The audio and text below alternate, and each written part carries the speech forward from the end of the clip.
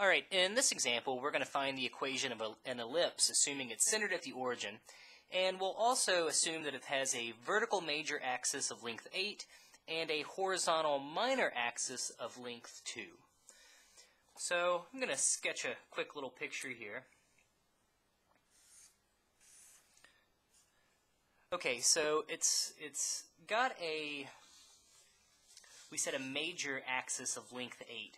And again, a major axis is simply the length of, it's the distance from one vertex to the other vertex.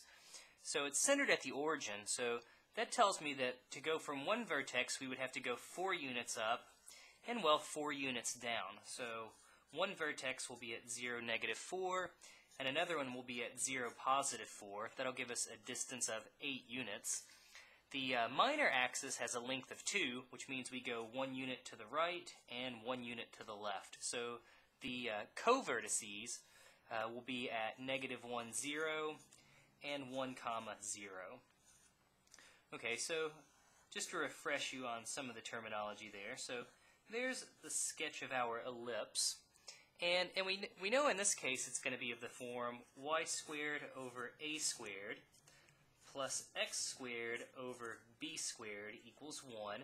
And in this case, uh, our a value is going to be larger than our b value.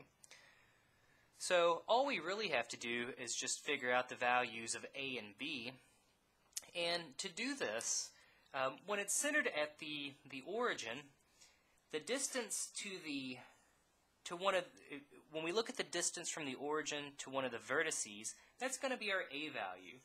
So in this case, our A value simply equals 4.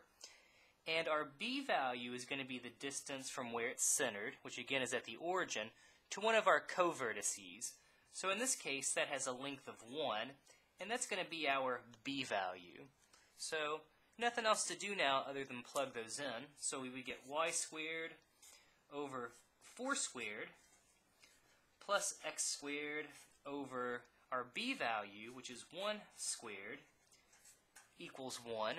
And of course, we could simplify this down a little bit and simply say it's y squared over 16 plus x squared over 1 equals 1.